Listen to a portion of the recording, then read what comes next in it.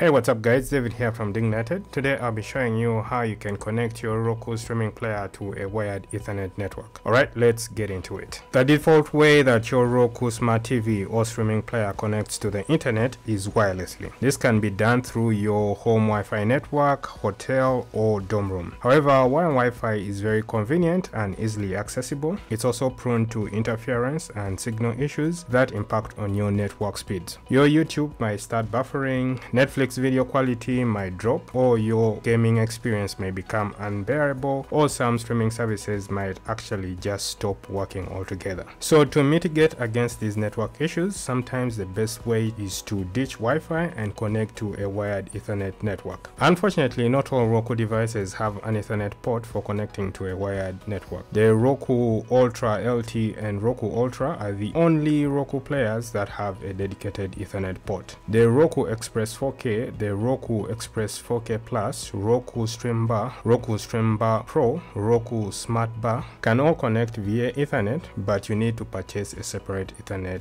adapter. Now, before you go on to buy a USB Ethernet adapter, here's what you should look out for according to Roku. One, look out for an adapter that only supports 10 100 Mbps speeds. Adapters that support 1000 Mbps or Gigabit Ethernet will not work. This is really important important to take note of. Alright, and then look out for an adapter that has an AX8877X or SMS C95XX chipset. Then look out for an adapter with a micro USB connector. This is required for connecting the Roku Express 4K and Express 4K Plus streaming sticks. Now Roku has some recommendations for you for what Ethernet adapter will work for your device. If you have the Roku Express 4K or Express 4K Plus streaming sticks, then consider the Ugreen micro USB to RJ45 Ethernet network adapter or the Belker micro USB to RJ45 Ethernet adapter.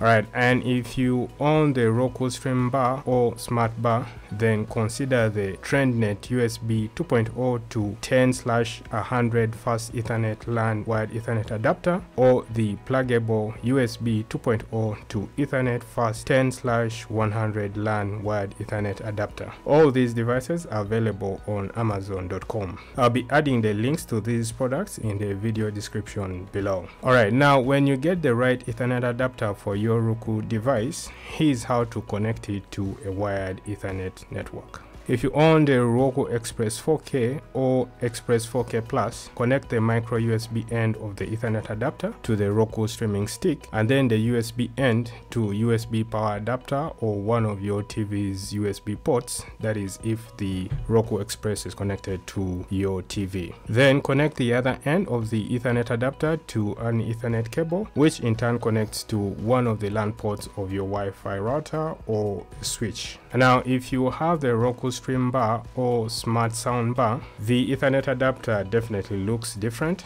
so you'll have to attach the Ethernet adapter to the USB port of your Roku device and then connect the Ethernet end of the adapter to an Ethernet cable which in turn connects to one of the LAN ports of your Wi-Fi router or switch. Alright, with the connections done, you can now set up a wired network on your Roku device. Start your Roku device and then press the home button on the Roku remote. Scroll down to settings and then under network, select setup connection and then select wired. The Roku device will automatically acquire network settings for your device to connect to the internet. Now remember that you can always switch between Wi-Fi and wired networks from network settings. Alright guys, that's it. That's how you can connect your Roku streaming stick to a wired network. If you like this video, go ahead and give us a like, subscribe to the channel. Otherwise, we'll see you guys in the next one.